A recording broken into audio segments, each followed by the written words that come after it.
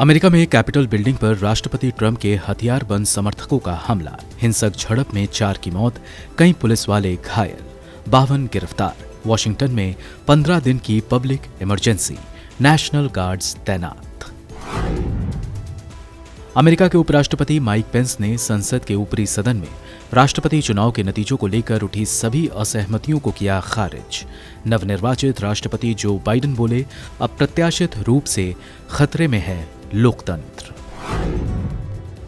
दुनिया भर के देशों ने अमेरिकी संसद पर हमले की की निंदा। प्रधानमंत्री मोदी ने अमेरिका में हिंसा की घटना पर जताई चिंता। कहा, लोकतांत्रिक प्रक्रिया को गैर कानून विरोध प्रदर्शनों से प्रभावित करने की नहीं दी जा सकती इजाज़त। फेसबुक, ट्विटर, इंस्टाग्राम ने राष्ट्रपति ट्रंप का अकाउंट किया ब्लॉक। यूट्यूब ने भी हटाया हिंसा भड़कने से पहले समर्थकों को दिया ट्रंप का संदेश।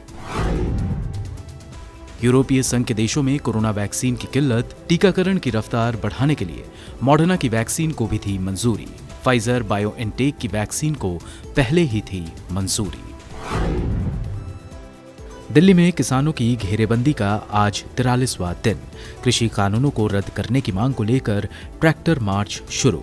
किसान नेता बोले 26 जनवरी की ट्रैक्टर परेड का है rehearsal.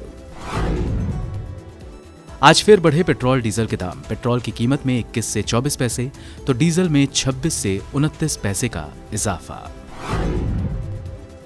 Common law admission test की तारीख में बदलाव का ऐलान।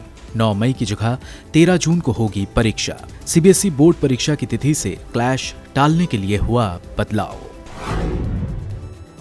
और दिल्ली एनसीआर में बढ़ेगा ठंड और कोहरे का कहर। मौसम विभाग ने जताया अनुमान, जनवरी में औसत बारिश का टूटा रिकॉर्ड।